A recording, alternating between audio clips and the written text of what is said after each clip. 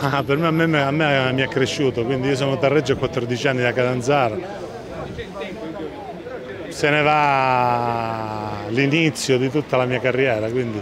lui mi ha voluto a Reggio, lui mi ha allenato, mi ha lasciato un bagaglio tecnico e,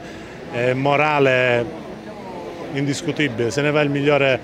allenatore e, ed educatore che ci sia mai stato secondo me in Italia, ma non sono frasi fatte, sono i risultati, sono eh, le persone che sono arrivate qua da tutta Italia,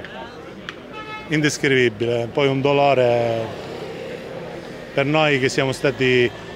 i suoi, cioè lui è stato per noi il nostro campione d'Italia e noi per lui